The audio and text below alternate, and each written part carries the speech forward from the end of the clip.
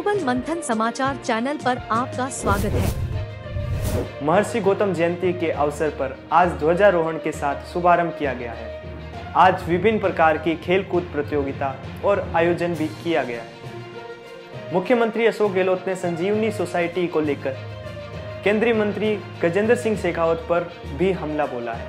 गजेंद्र सिंह शेखावत जी जो है ये जो आपकी सोसाइटी है संजीवनी।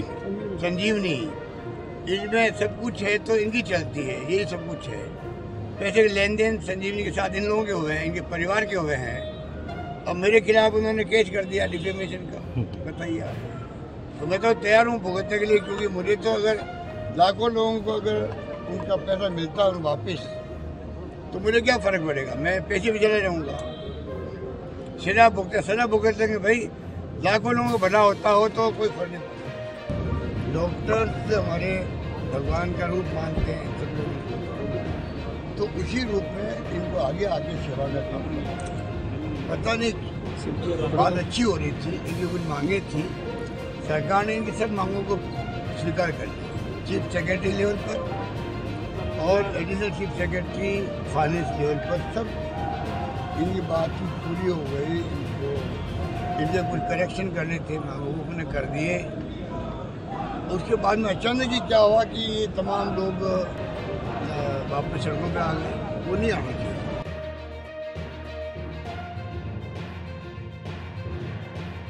जोधपुर पुलिस के शास्त्री नगर थाना क्षेत्र के सुभाष नगर स्थित मकान में चोरी की वारदात सामने आई है। इसका सीसीटीवी फुटेज भी सामने आया है। चोर मकान से सोना चांदी के आभूषण, डेढ़ लाख रुपए और डॉक्यूमेंट भी ले गए। जोधपुर ज़िले में रविवार की बारिश के कारण कटाई के बाद खेत में रखी जीरा और इसबगोल की पकी फ़सल तबाह हो गई है। राजस्थान में दो दिन के बाद फिर बारिश और ओले गिरने की चेतावनी है।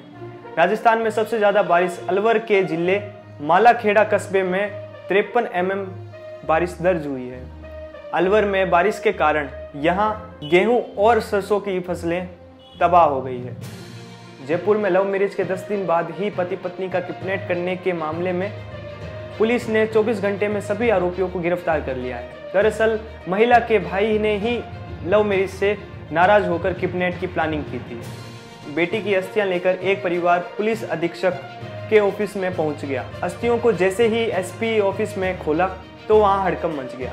परिवार का आरोप है कि धुलंडी के दिन उनकी बेटी से रेप हुआ और और उसने सुसाइड कर लिया। लेकिन पुलिस का कहना है कि पोस्टमार्टम रिपोर्ट में फ़िलहाल ऐसा कुछ नहीं आया है। मामला झालावाड़ के पनवाड़ पुलिस थाने का बताया जा रहा है। अजमेर के नगरा क्षेत्र में स्थित शराब के ठेके में चोरी की वारदात सामने आई है। चोरों के द्वारा दुकान के पीछे की दीवार तोड़कर दुकान में प्रवेश किया गया और हज़ारों का नगद राशि और शराब की चोरी कर फरार हो गए। भाजपा के राष्ट्रीय प्रवक्ता संबित पात्रा ने मंगलवार को कहा है कि कांग्रेस सांसद राहुल गांधी भारतीय राजनीति के आज के मीर जाफ़र है। गंभीर है। स्वाभाविक रूप से आपको लगेगा, मानो भारतीय जनता पार्टी हर दिन राहुल गांधी को माफ़ी मांगने क्यों बोल रही है? जो उन्होंने लंदन में किया है, वो ठीक वही किया है।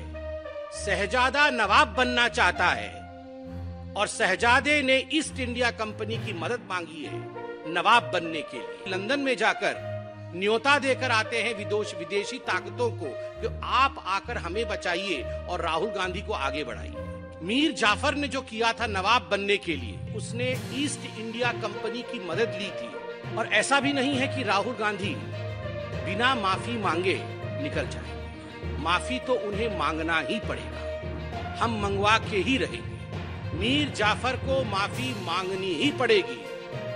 जस्ट बिकॉज़ द शहजादा वॉन्ट्स टू बिकम नवाब शहजादे को नवाब बनना है। विपक्ष की नारेबाजी के बाद राज्यसभा और लोकसभा की कार्यवाही लगातार सातवें दिन स्थगित कर दी गई है। गृह मंत्रालय ने मंगलवार को दिल्ली सरकार के बजट की मंजूरी दे दी। सोमवार को सीएम अरविंद केजरीवाल ने केंद्र सरकार पर दिल्ली का बजट रोकने का आरोप लगाया था। इधर केंद्र से मंजूरी मिलते ही अरविंद केजरीवाल ने विधानसभा में चर्चा के दौरान केंद्र पर फिर एक बार निशाना साधा है। दिल्ली के मंगोलपुरी इलाके में शनिवार रात जिस लड़की से मारपीट करने का और कार में बिठाने का वीडियो सामने आया था, उस लड़की ने एक वीडियो मैसेज जारी किया है। इसमें लड़की ने सफ़ाई दे दी है कि उसका अपहरण नहीं हुआ था, न ही उसके साथ कोई मारपीट हुई थी। रूस के सिक्योरिटी काउंसिल के डिप्टी चेयरमैन ने इंटरनेशनल क्रिमिनल कोर्ट आईसीसी को मिसाइल अटैक की धमकी दी है। उन्होंने कहा, भगवान, और मिसाइलों से बचना किसी के लिए भी मुमकिन नहीं है। कोलंबिया में रविवार को एक मिलिट्री हेलीकॉप्टर क्रैश हो गया। हादसे में एक महिला पायलट समेत चार अफसरों की मौत हो गई है। यह क्रैश दोपहर के वक्त एक घर के बिल्कुल करीब हुआ। हादसे का वीडियो सोशल मीडिया पर वायरल हो रहा है।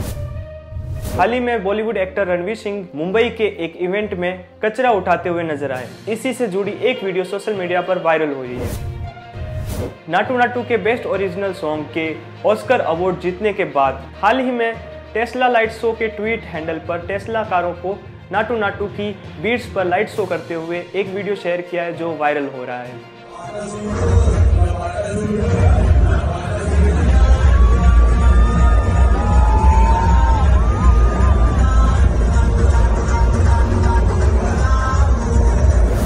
क्रिकेट का रोमांच और क्रिकेट प्रेमियों का जुनून। अब जल्द ही मैदानों से ऊपर उठकर पहाड़ों की वादियों में देखने को मिलेगा। क्योंकि बर्फीली वादियों के बीच हिमाचल प्रदेश में दुनिया का सबसे ऊँचा क्रिकेट स्टेडियम बनाने की तैयारी चल रही है। युंडाई मोटर्स ने आज भारत में अपनी नेक्स्ट जनरेशन वर्ना लॉन्च की है। ये 10 लाख गुन्नबे हज़ार रुपए से शुरू हो रही है, जिसका टॉप एंड वेरिएंट 17 लाख अड़तीस हज़ार रुपए तक जाता है। इसमें कंपनी 20 किलोमीटर पर आवर का माइलेज क्लेम करती है।